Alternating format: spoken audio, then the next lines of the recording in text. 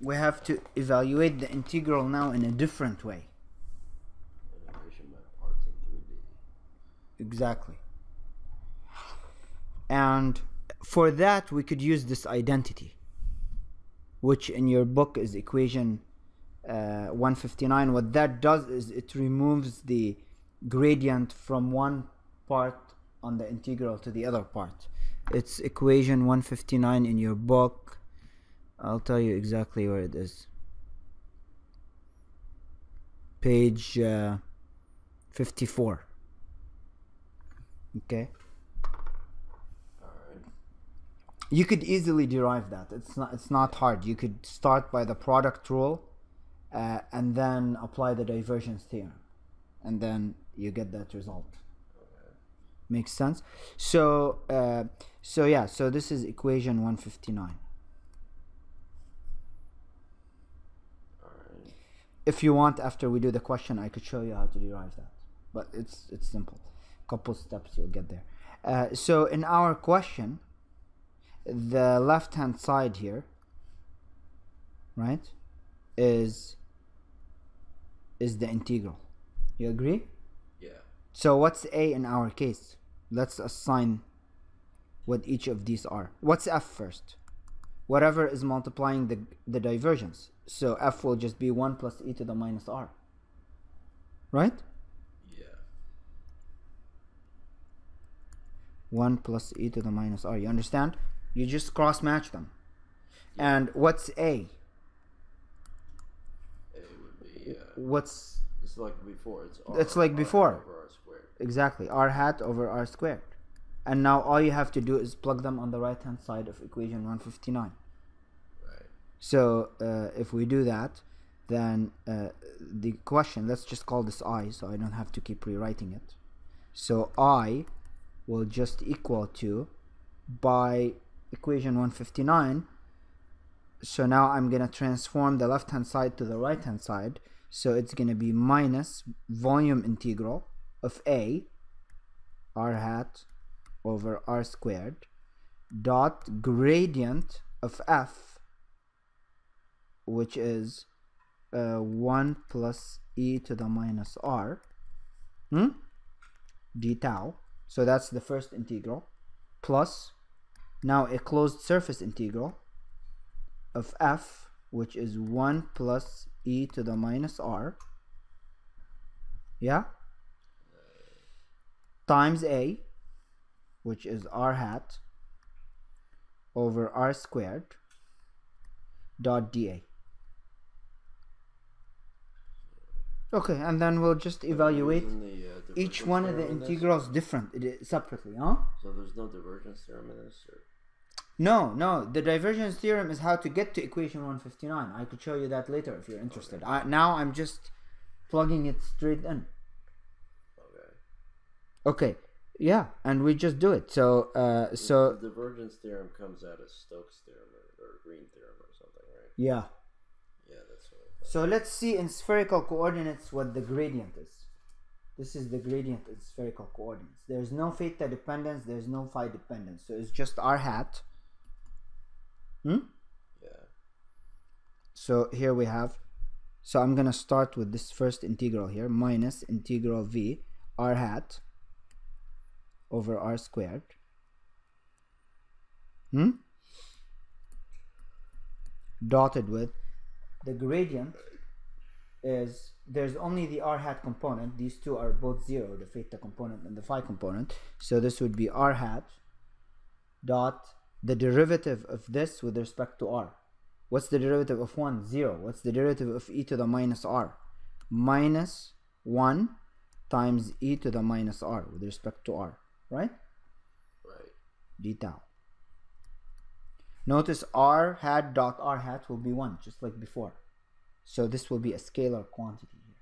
So if, if I were to just do this, this is going to be uh, r hat dot r hat will get you 1, minus and minus becomes plus, and you're going to get e to the minus r over r squared d tau.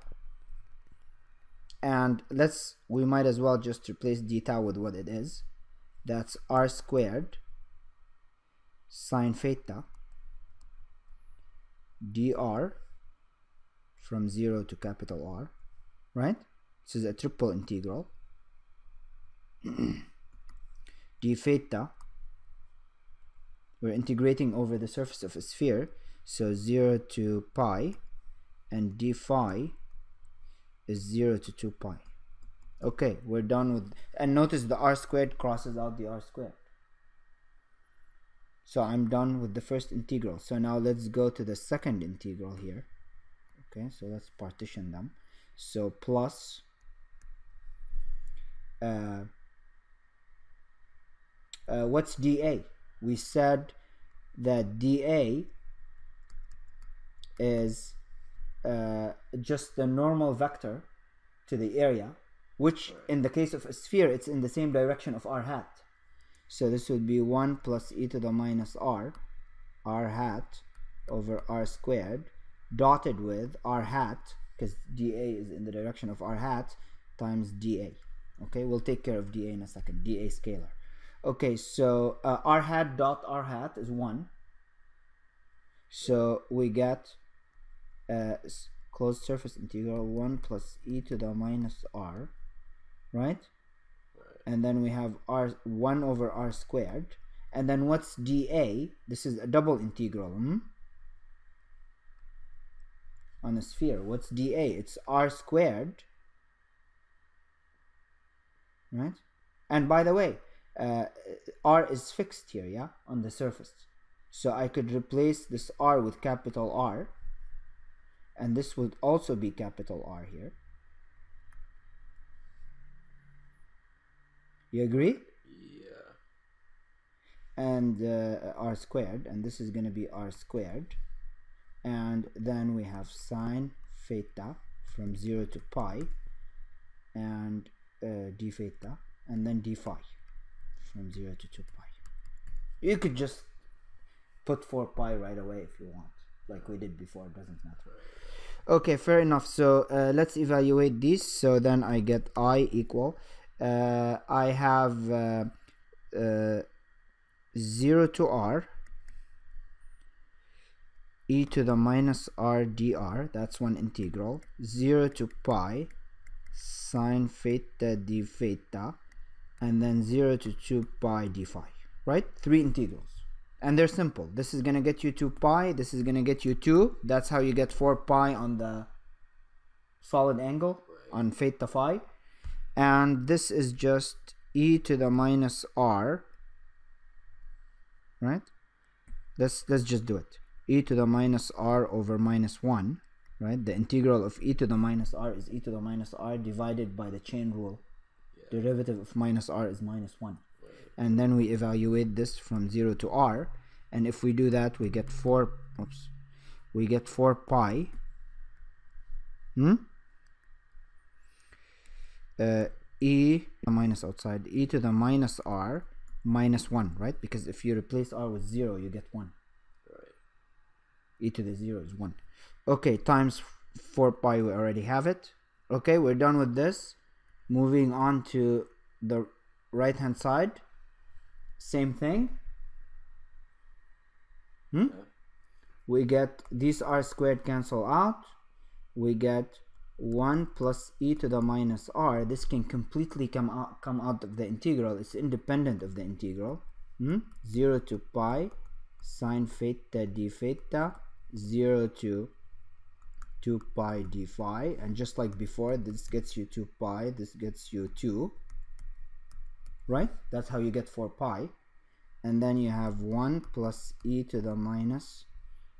There's a plus here by the way. Don't forget the plus we're adding e to the minus r.